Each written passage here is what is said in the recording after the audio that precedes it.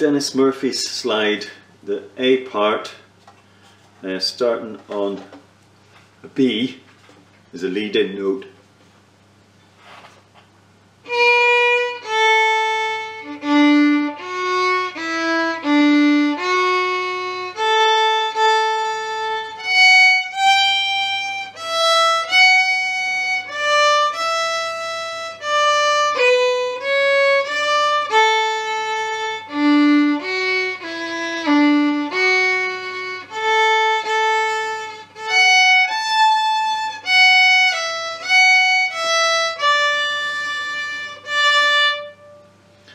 Play that twice.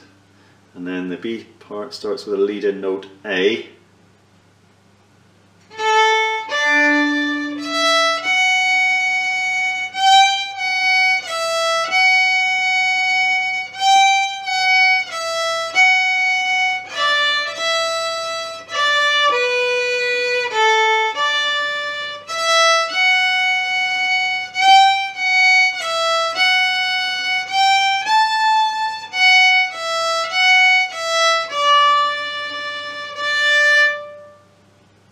and play that twice.